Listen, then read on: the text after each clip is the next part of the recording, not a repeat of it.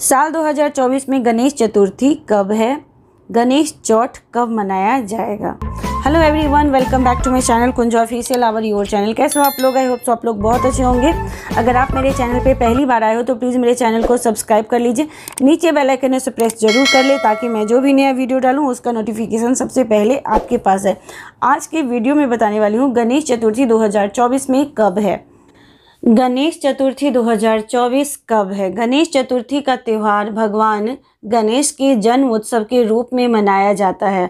शास्त्रों के अनुसार भाद्रपद मास के शुक्ल पक्ष की चतुर्थी तिथि को भगवान गणेश का जन्म हुआ था। ये त्यौहार गणेश चतुर्थी से प्रारंभ होकर अनंत चतुर्दशी को समाप्त होता है। गणेश चतुर्थी के दिन लोग धूमधाम से बप्पा को घर लाते हैं और अनंत चतुर्दशी के दिन उनका विसर्जन करते हैं। 2024 में गणेश चतुर्थी कब है? साल 2024 में चतुर्थी तिथि 6 सितंबर को दोपहर तीन बजकर एक मिनट पर प्रारंभ होगी और 7 सितंबर को शाम पाँच बजकर सैंतीस मिनट पर समाप्त होगी। उद्या तिथि मान्य होने के कारण गणेश चतुर्थी 7 सितंबर 2024 शनिवार को मनाई जाएगी। 2024 में गणेश चतुर्थी पूजन विधि।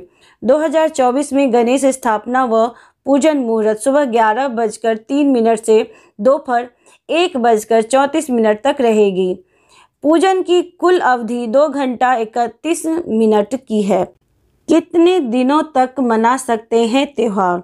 आप गणेश चतुर्थी को एक, पाँच, तीन पाँच, सात, दस या ग्यारह दिनों तक मना सकते हैं। इस अवधि के बाद मूर्ति को पानी में विसर्जित कर दिया जाता है। साल 2024 में अनंत चतुर्दशी कब है?